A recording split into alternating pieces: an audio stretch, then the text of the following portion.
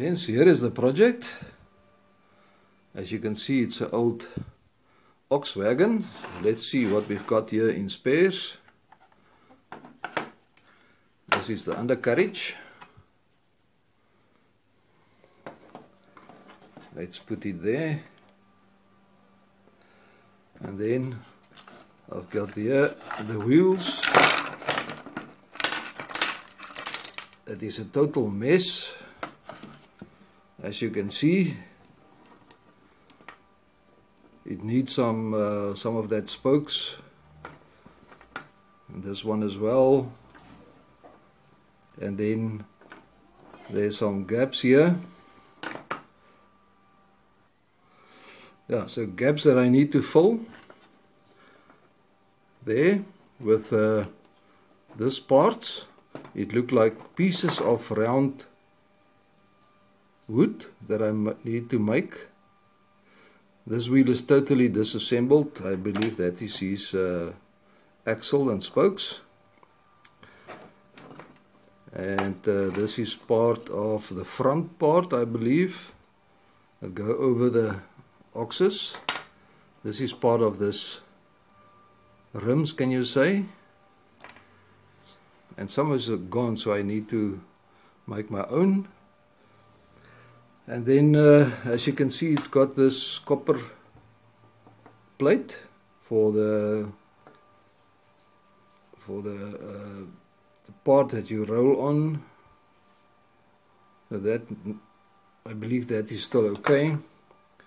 And then uh, you can see all the little copper plates there and parts uh, that need to make it shine and put it back into place.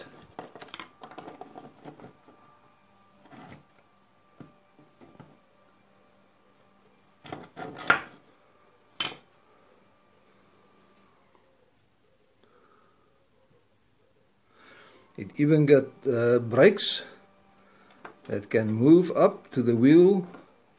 There's a brake, one brake pad that sit in that position. And I'll see if I need to make one uh, or probably it might be somewhere here. If not, I'll have to make one for the brakes to work. So this will be an interesting job see how perfect I can do it? But it will happen over time. That's not definitely not a day or two's job there yeah and on this side there's even some copper chains there. It's a very neatly made model and on the front is where you sit. This is a bench where you sit.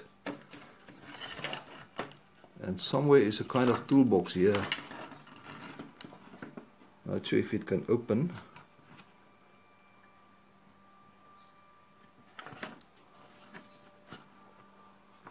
Probably not. I will check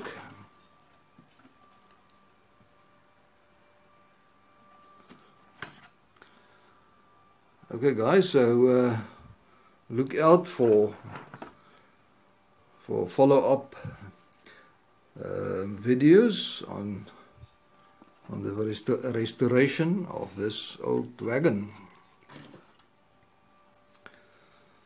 Okay, see you on the next one guys. And this would be a very nice before photo